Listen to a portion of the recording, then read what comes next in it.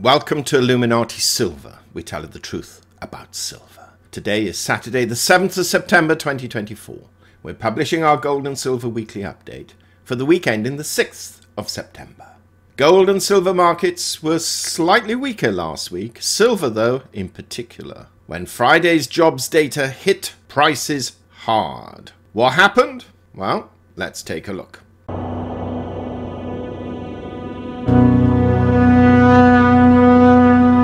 Gold fell $6 last week, falling from 2,504 to $2,498, having hit a high of 2,530 and a low of 2,472, a fall of just 0.2%. Gold spread between high and low was $58. Last weekend we said gold would trade between 2,460 and 2,540, which it did comfortably, and closed in the middle of that range. In sterling terms, gold fell £5, closing at £1,904. I'm waiting for it to go up to £2,000 by the end of this year. Let's see if we're right. And in euro terms, gold fell 12 euros, closing at 2,255 euros. Silver fell 93 cents, a similar amount to the previous week, falling from $28.87 to $27.94 having hit a high of 29.58 and a low of 27.71, a fall of 3.2%.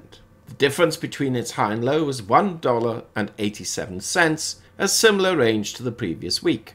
There may be greater volatility this week, and we'll discuss why shortly.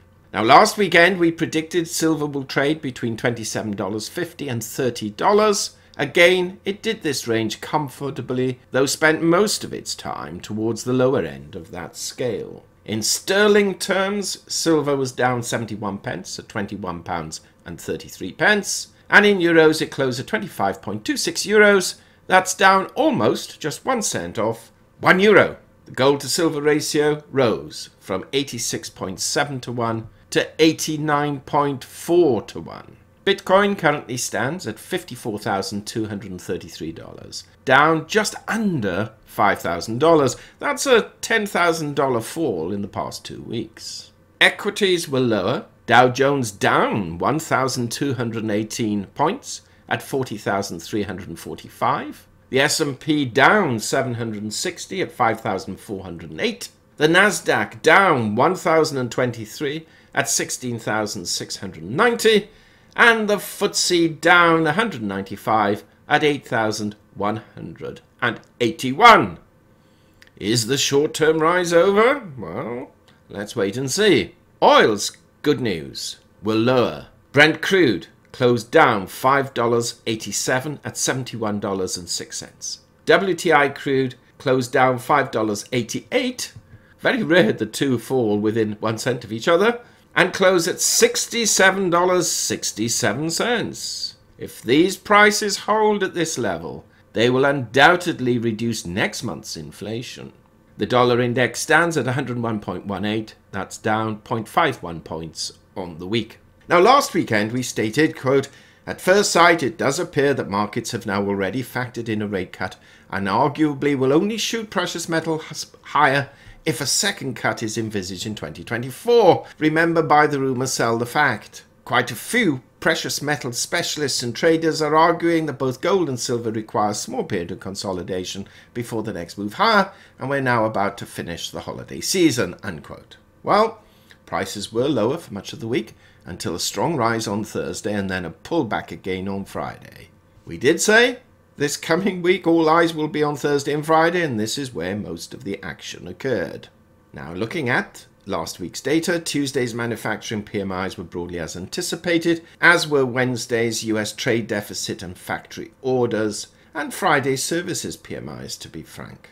But Thursday's ADP employment report for August came in at 99,000 new jobs, compared with expectations of 140,000 and with US labour costs falling, this boosted the precious metals market. However, on Friday, the employment report, or traditionally called the non farm payrolls, ceased the euphoria as the numbers of new jobs increased compared with July from 89,000 to 142,000. And US hourly wages rose from 0.2% to 0.4 causing year-over-year wages to rise from 3.6 to 3.8%. The unemployment rate meanwhile slipped to 4.2% from 4.3% in July and declined for the first time in five months. These figures, in fairness, virtually guarantee a rate cut this month, but for now calls into question whether a further cut in 2024 is realistic. Our forecast is that the Fed will cut rates by a quarter of 1% and hope that it can do the same again in November or December. Now, if oil prices remain low and inflation subsides as a result, the Fed may be able to do this, but for now, the jury is out.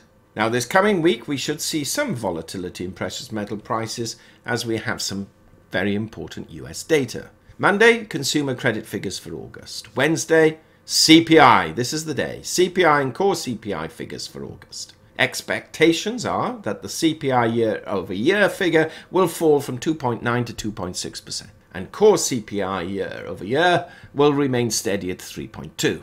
We do not expect these figures to be wide of the mark, but we do believe that the CPI is more likely to come in at 2.7 rather than 2.6, but let's wait and see. Thursday, producer price index for August, and Friday, the import price index for August. So all eyes on Wednesday, and let's assess Thursday's PPI figures to see if they provide an indication as to next month's inflation data. Now, gold prices are currently consolidating around the $2,500 level, and has been doing so for the past three weeks. It attempted to reach its record high of $2,532, but could not quite get there. Technical analysts forecast gold could fall as low as $2,439, where the 50-day moving average lies, but is likely to be supported at 2,450. If it surpasses 2,532, its all-time high, it will quickly move on to the next psychological resistance level of 2,550. Silver has some more concerns. Analysts are forecasting that if silver should dip to 27.20, it could fall back to as low as 26 maybe within two weeks. On the upside, if it can break above 28.88, which is where the 200 day EMA rests, it may very well move back towards the $30 level, where the next significant level of resistance lies. But there is some considerable background concern for silver, which is expressed very nicely by Arslan Ali of FX Empire.